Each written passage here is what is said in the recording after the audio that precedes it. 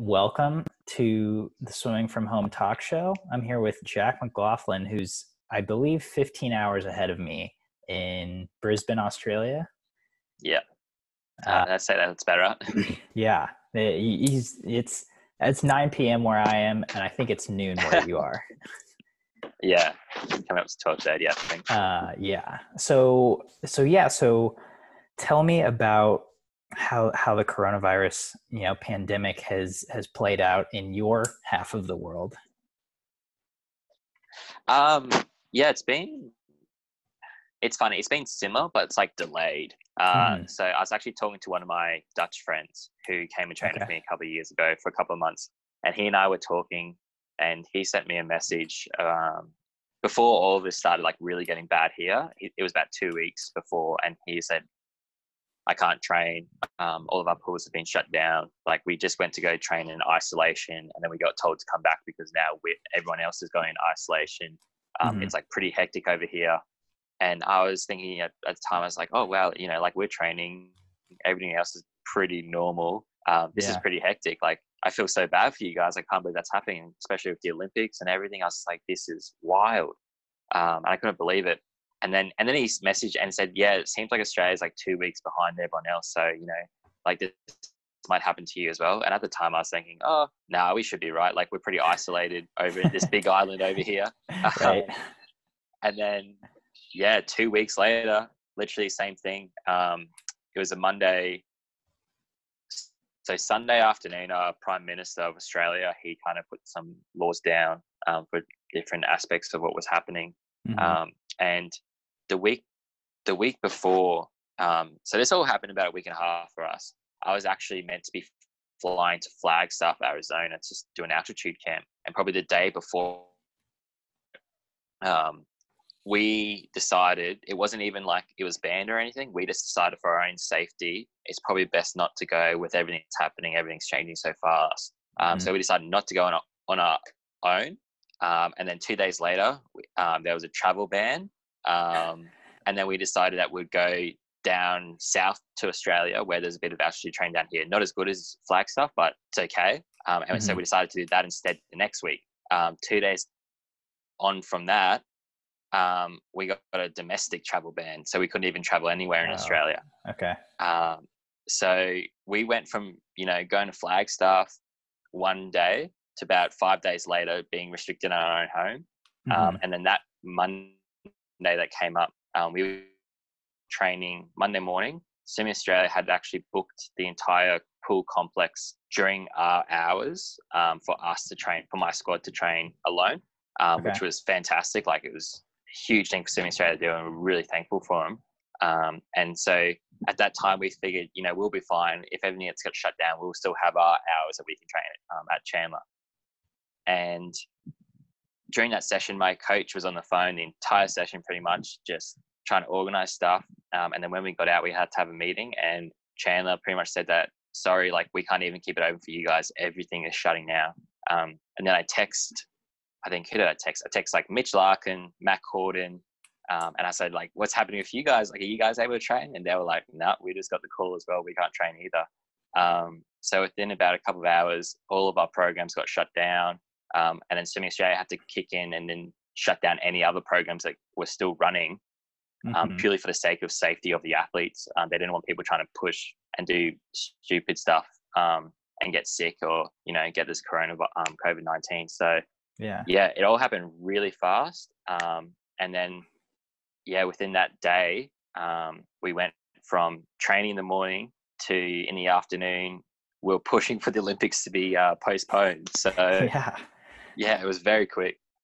Um, did you have an initial reaction to when? Because I know before they had officially postponed it, Australia was one of the countries that said like we're not sending athletes if they have it in 2020. Uh, yeah, so the AOC, so the Australian Olympic Committee, they I think on that Monday morning as well, they had announced that they won't be sending a team. Um, well, so the Prime Minister said that no no one is able to travel internationally. And then at the press conference, one interviewer asked, what does that mean for Olympic athletes? And he said, no exceptions. So it wasn't really like a yes or no, but it was more okay. of a read between the lines kind of thing. Yep. Um, and and then the AOC came out that morning to say, yeah, we won't be sending a team um, because of these travel restrictions placed on Australia. Um, mm. And then at that point, I was like to my coach, well, what's happening? Like, are we a- like even if we are able to train, are we able to go? Like even if it's on? Um, so there's all this confusion of you know even if we can train, even if the Olympics are on, is Australia still going? Who knows? Like, um, and that's when there's assuming Australia was talking to AOC, AOC were talking to the government about all these res- like just restrictions and what was, it was just such a confusing time, confusing day of yeah. no one really knew what was actually happening. Yeah. And so so what was what was your first reaction then when the the IOC finally came out and was like, "Hey, no Olympics," or like you know they're postponed? Mm. Um, relief at the time because at the time they came out to say it's postponed.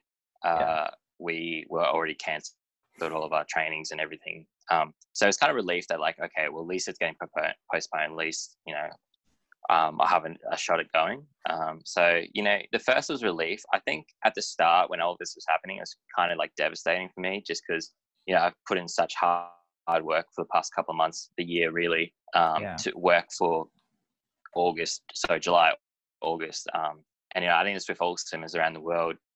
You, you always try and plan your run to be peaking at that point and like to be pushed back a year, like yes, you'll be able to train for a longer time. I mean, everything, but it is still difficult to try and wrap your head around being able to refocus your goals and going back to be like, all right, well, I got to train like this for another 12 months now. Um, so it, it, it is pretty difficult. Um, and yeah, at the time I said relief for the IOC when they postponed it because I was like, thank God. Like, and as well, you know, you, you don't want to, you'll never want to win an Olympic gold medal um, and know that your competition wasn't at their best. I think that's the biggest thing for me was if you know if you did really well, there'd always be kind of an asterisk and be like, well, you know, these countries weren't allowed to train for um, two months prior. So did you really win? Um, right. So, yeah. Yeah, absolutely. I mean, I right, and I think it, it's it's been nice to hear a lot of athletes' perspectives and and just hear it's like this is devastating, but obviously it's the right call for health. You know, for for everyone's like health and safety and and I think you're right. You know, if they had had an Olympics which if that was even like a minor possibility, there would have been like a huge asterisk that had come. Oh yeah, it. definitely. Yeah, um, definitely. Go ahead. Oh, it's just just definitely with that, and just saying that like you know you with if the Olympics were still on at that time, you know you were seeing people with who countries who actually had isolation issues, especially like Italy and stuff. Yeah. Um, you know, those athletes would probably be trying to break the law pretty much to go train because um, that's how dedicated swimmers are. Um, and you just don't want that situation to be put on swimmers. Um, I think that's the biggest thing. Absolutely. Yeah, agreed.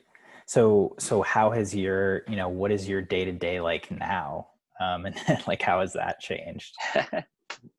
um, it's yeah, it's changed quite a lot. I'm trying to, you know, catch up on a lot of uni work that I've kind of missed over the past couple of weeks with all this happening. Um, yeah. So that's going on pretty regularly. And then other than that, trying to stay active and fit with whatever I can really do. Um, so we've we've still got quite a lot of um, isolation guidelines for us and protocols.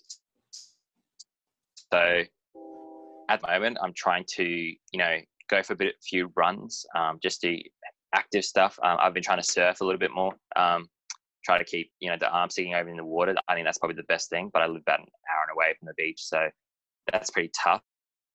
But mm. other than that, um, like home workouts, uh, so medicine ball stuff. Um, I just bought myself like a one of those chin up bars that go in the doorway, just try to keep my um, strength up in there.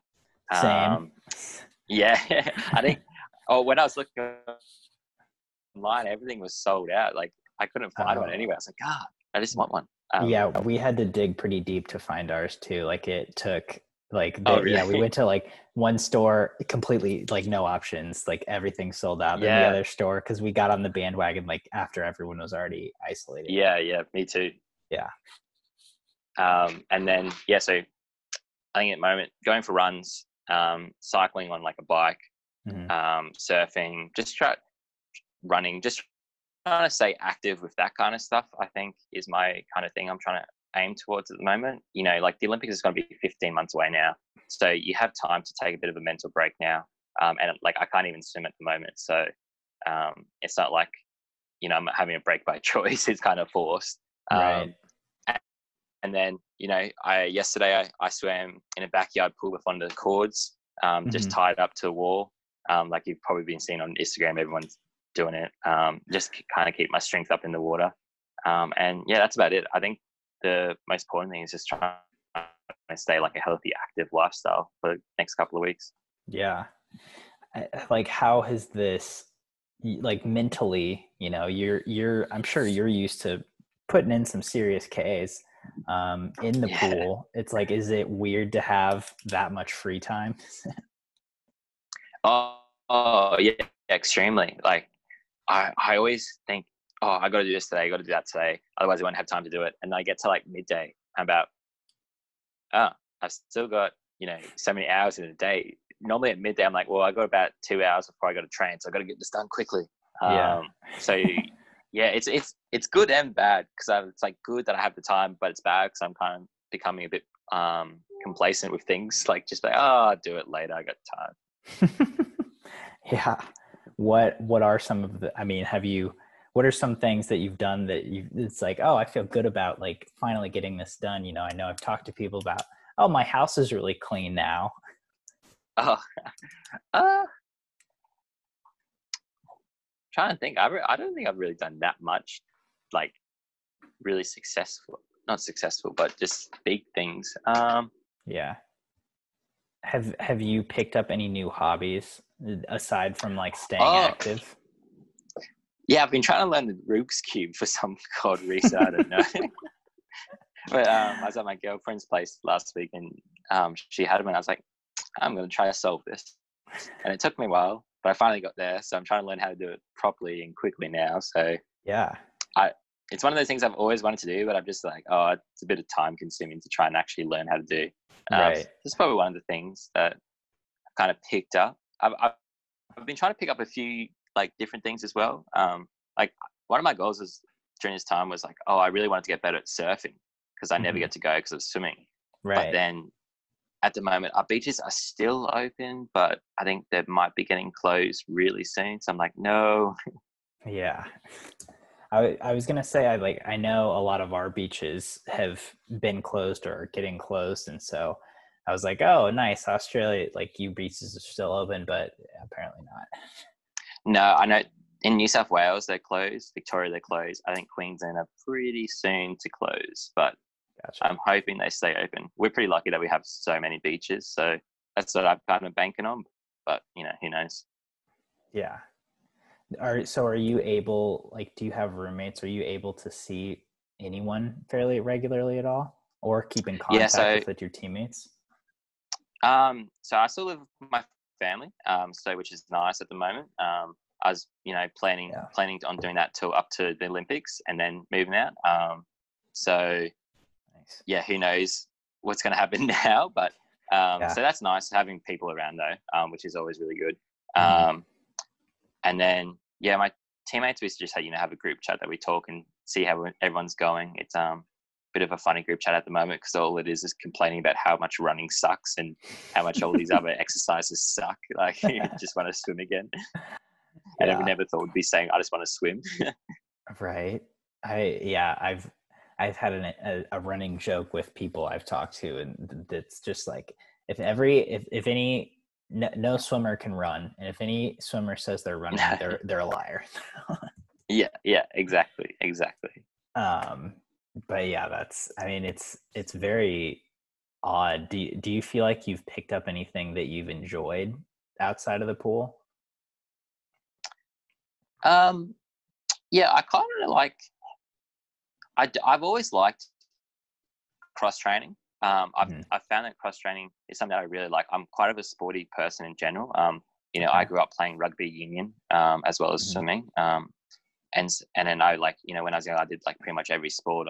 You could do tennis, um, cricket, uh, volleyball. Like I did everything, and I just wanted to give everything a go. Oh, nice. Um, so I've always really enjoyed cross training whenever we get to do it. Um, so that's something that I actually have been really enjoying is that like I can go, you know, and do something else, and that's part of my training at the moment, which is really good for me. Um, it's really helping my mindset at the moment. Um, so yeah, I think those things I've really enjoyed because I just really like the idea of doing something else um, to to you know help my swimming. Um, and there's a lot of th- things you can do to really help your swimming, like boxing and everything. And for me as well, um, I think those like running and cycling is good for the leg fitness, which um, I like to train as well. So I think those things are a, a plus to what's happening at the moment.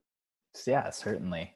Um, so I have to. So here, when this whole thing kind of started, everyone was freaking out and bu- and going to grocery stores and buying out all of the toilet paper. Did you guys experience a similar yeah. phenomena? oh yeah, hundred percent. I don't know what's happening. Like it just happened, and then I think like I want to know who was the first person to do this because whoever did it first started all of this. Like if everyone was just sensible, like everyone can still go grocery shopping. It's not like it's a world shortage of toilet paper. Like it's right. It's just because there's been someone who's gone out buy like all the thing, all the toilet paper, and people saw that and be like, "Oh God, I got to do that now." And so there's about like a exponential growth of people doing it, and then now there's none. I just I think it has gotten a lot better in Australia. I haven't heard as many people complaining about it, but yeah, uh-huh. it's not fun. I yeah i was trying to solve it with someone else and we couldn't we couldn't crack the code of like what happened here? Like toilet papers? Like what? Like i kind of get like food because i at first when this started like i had the initial thought of like oh god like are we gonna run out of food? And then and then like you know my sense mm. kicked in and i was like no we're not like it, it's fine. Yeah. But like toilet paper yeah. i'm not like i don't immediately go for like oh god i need toilet paper. Um no. so that There's was a, weird. Yeah like i i understand canned foods or something like you know people stockpiling canned foods. Yeah. yeah. I understand that you don't want to go out the house like fair enough.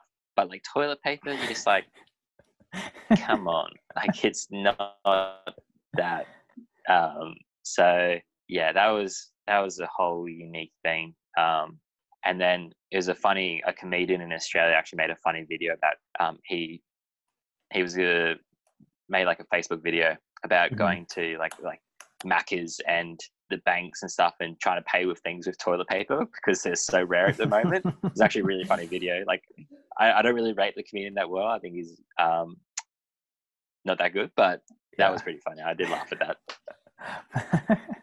I mean, seriously, like it, it seems like it would become the new currency in our yeah in at the moment definitely. State. Um, have has has going out there been, you know, does does the town you're in seem like a ghost town, or are people still kind of moving around, doing things on a daily basis? Um,